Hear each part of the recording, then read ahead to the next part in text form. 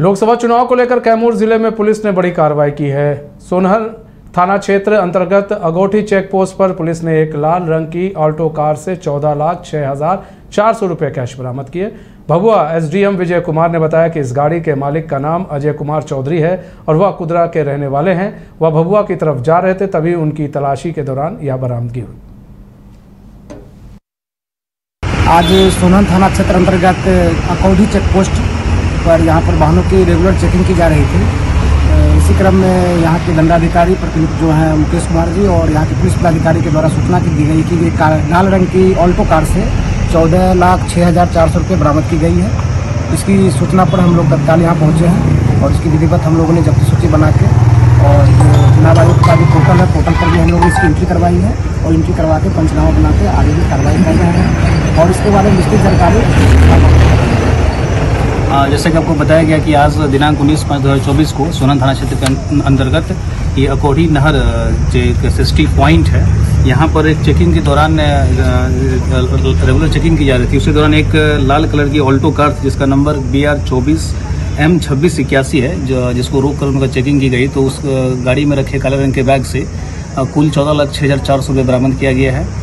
जो मालिक है, उसका नाम अजय कुमार चौबे बताया जा रहा है, जो कि इसी कुदरा क्षेत्र के रहने वाले हैं। उनके ज़रा बताया कि वो भगवा की ओर जा रहे थे इसी क्रम में उनकी तलाशी के दौरान ये जो कैश की बरामदगी हुई है। अ, हम लोगों ने यहाँ मौजूद जो दंडाधिकारी प्रतिनियुक्त हैं और यहाँ के पुलिस अधिकारी की मौजूदगी में जो विधिवत उनकी जब्ती सूची बनाकर जो संबंधित विभाग हम लोगों ने उसको अग्रिम कार्रवाई उन लोगों ने उसको फॉरवर्ड कर दिया है। बिहार में पाँच सीटों पर लोकसभा चुनाव के लिए वोटिंग हो रही है। हाजीपुर में मतदाताओं की लगी कतार सुबह से ही देखने को मिली।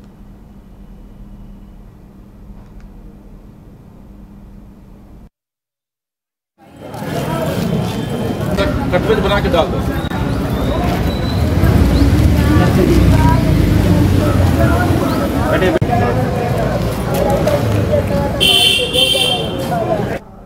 बिहार के मंत्री मंगल पांडे ने दावा किया कि आज जब पाँचवें चरण का चुनाव पूर्ण होगा तो एनडीए गठबंधन 300 के आंकड़े को पार करके आगे बढ़ जाएगा। अगले दो चरण में 400 के आंकड़े को पार करेंगे। पिछले 10 वर्षों में जिस प्रकार से पीएम मोदी ने बिहार में सड़कों का जाल बिछाया है और गरीबों के कल्याण की योजना बनी है, उससे आज बिहार की जनता नरेंद्र मोदी के साथ खड़ी है। आदरणीय नरेंद्र मोदी जी को मिल रहा है और आज आप देख रहे होंगे, मौसम का भी आशीर्वाद जो है, नरेंद्र मोदी जी के साथ है। तो मतदाता उत्साह के साथ मतदान केंद्र पे जा रहे हैं, मतदान कर रहे हैं। और आज जब पाँचवें चरण का चुनाव पूर्ण होगा तो एनडीए गठबंधन 300 के आंकड़े को आज पार करके आगे बढ़ जाएगा और अब अगले दो चरण के चुनाव में 400 के आंकड़े को हम पार करेंगे।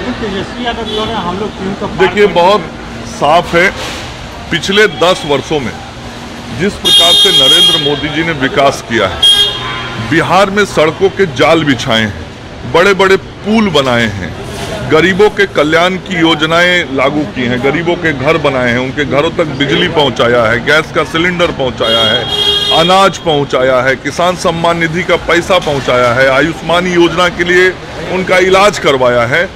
आज नरेंद्र मोदी जी के साथ बिहार की जनता खड़ी है। चूँकि बिहार की जनता डबल इंजन की सरकार चाहती है, नीतीश जी और नरेंद्र मोदी के नेतृत्व में बिहार आगे बढ़े इसके लिए जनता आज फिर मतदान कर रही है।